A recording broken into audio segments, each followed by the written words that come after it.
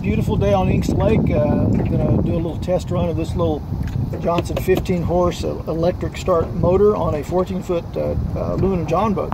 And uh, uh, so far it's been running really well, but just wanted to make a little uh, video of it running. So here we go.